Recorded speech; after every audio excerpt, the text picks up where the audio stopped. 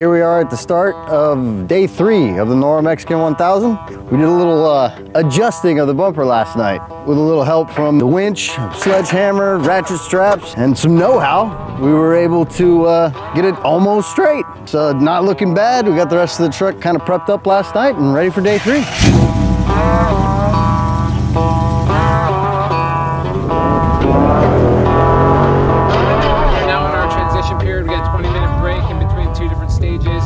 Silt, a lot of really tight technical stuff, and a lot of people crammed tight together, so there's a lot of dust. Uh, we hit a cactus, got a flat tire.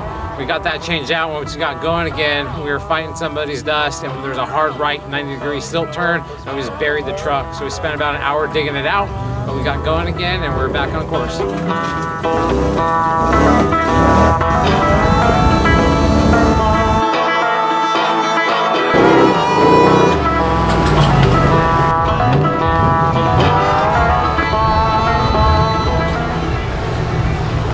We did it, day three, we made the finish line here in San Ignacio. What an incredible course. NORRA's done a great job of laying out the course this year. We've had so much fun. We're excited to be here at San Ignacio.